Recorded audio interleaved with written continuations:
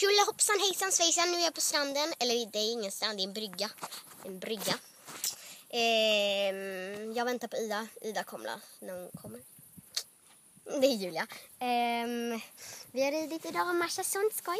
Men solen är typ bakom moln just nu så vi kan inte bada än för det blir kallt då. Ehm, ja, mm, mm.